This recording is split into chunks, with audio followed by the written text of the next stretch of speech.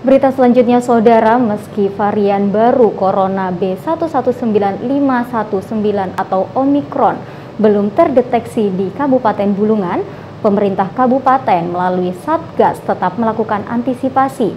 Salah satunya yakni dengan menyiapkan fasilitas karantina khusus. Dari informasi yang dihimpun, Rusunawa merupakan tempat yang disiapkan sebagai tempat karantina. Bupati Bulungan Sarwani mengatakan pihaknya sudah menginstruksikan kepada Dinas Kesehatan Bulungan untuk menyiapkan tempat karantina khusus bagi pasien yang dinyatakan terkonfirmasi Omikron.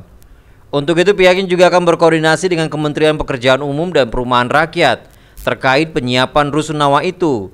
Sementara itu posko karantina yang di Bandiklat selanjutnya akan digunakan untuk kegiatan diklat bagi aparatur sipil negara di lingkup pemerintah daerah maupun pihak lainnya.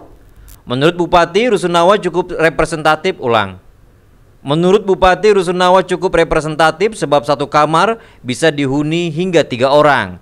Secara kumulatif bangunan yang berlokasi di Jalan Sengkawit ini diperkirakan bisa menampung 90 sampai dengan 100 orang. Saya sudah koordinasikan dengan Dinas Kesehatan, kemungkinan juga nanti kita akan koordinasi dengan Kementerian PU, kita menyiapkan, uh, kita minta untuk penyiapan rusun rusun, rusun yang, yang ada di Sengkawit. Ya mungkin nanti arahnya ke sana dan nanti mungkin kemarin saya sudah minta kepada asisten tiga koordinasikan kembali dengan dinas kesehatan karena untuk pus uh, poskar kita yang pernah digunakan itu kan sudah disterilkan dan itu nanti diperuntukkan untuk kegiatan-kegiatan diklat yang ada di pemerintah maupun di uh, yang digunakan oleh pihak-pihak lain yang menggunakan kegiatan diklat itu.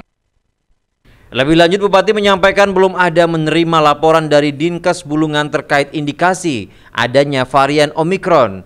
Meski demikian, masyarakat diminta tetap waspada serta disiplin menjalankan protokol kesehatan COVID-19. Dari Bulungan Muhammad Aras, TVRI Kalimantan Utara melaporkan.